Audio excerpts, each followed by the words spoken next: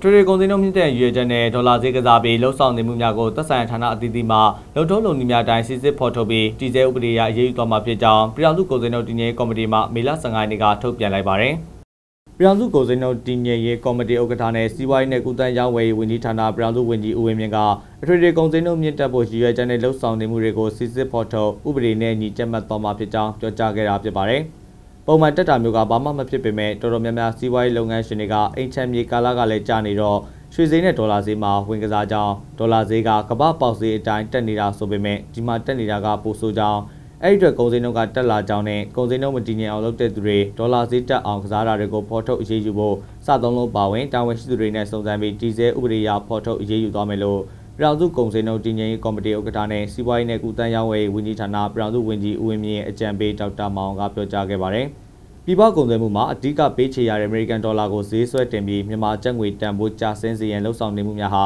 လက်ရှိဈေးကွက်မှာဖြစ်ပေါ်နေပြီးပြင်ပဈေးကွက်မှာ American Dollar လဲနှုန်းဟာမေလစံပိုင်းမှာရောင်းဈေး1090ကျပ်ဝန်းကျင်ဝယ်ဈေး1093ကျပ်ဝန်းကျင်မှာရှိခဲ့ပြီးမေလ23ရက်နေ့ထိဒေါ်လာတန်ဖိုးမှာ1131ကျပ်ဝန်းကျင်အထိအမြင့်ဆုံးမြင့်တက်ခဲ့တာဖြစ်ပါတယ်။ အဲဒီနောက်ပြည်သူ့ဝန်ကြီးများပါဝင်ဗဟိုဘဏ်တာဝန်ရှိသူများပြည်ရင်းပုဂ္ဂလိကဘဏ်များမှတာဝန်ရှိသူများဟာဒေါ်လာတန်ဖိုးမြင့်တက်ပြီးကျပ်ငွေတန်ဖိုးကျဆင်းခြင်းကိုဖြည့်ရှင်းဖို့ဆွေးနွေးခဲ့တဲ့အစည်းအဝေးပြီးမေလ14ရက်နေ့ပြင်ပစည်းကွက်မှာ American Dollar တန်ဖိုးမှာ23ကျပ်ဝန်းကျင်ကျဆင်းသွားခဲ့တာဖြစ်ပါတယ်။လက်ရှိချိန်ကုန်တယ်လောကအကြမှာနိုင်ငံခြားငွေများစွာလိုအပ်နေတယ်ဆိုတဲ့အချက်ဟာခိုင်လုံမှုမရှိဘဲ ကုန်သည်များအနေနဲ့လိုအပ်မှုမရှိဘဲရေတိုအကျိုးစီးပွားအတွက်လှုပ်ဆောင်နေမှုများကြောင့်မြန်မာနိုင်ငံအမေရိကန်ဒေါ်လာတန်ဖိုးဈေးနှုန်းမြင့်တက်မှုဟာတခြားနိုင်ငံတွေထက်ဂျာကိုင်နှုန်းပိုများနေတယ်လို့ဦးဝင်းမြင့်ကဆိုပါတယ်မြန်မာနိုင်ငံလက်ရှိအခြေအနေမှာနိုင်ငံခြားအရန်ငွေနှဲပါနေခြင်းကုန်သွယ်မှုလိုငွေပြနေခြင်းငွေဖောင်းပွားမှုနှုန်းမြင့်တက်နေခြင်းအပါအဝင်နိုင်ငံဝန်ထမ်းတွေရဲ့လစာကိုဧပြီလ၁ရက်နေ့ကစတင်ပြီးတိုးမြင့်ခဲ့မှုတွေကြောင့်73စီစဉ်နှုန်းအပါအဝင်ထွေထွေကုန်စည်နှုန်းများမြင့်တက်ခဲ့တာဖြစ်ပါတယ်။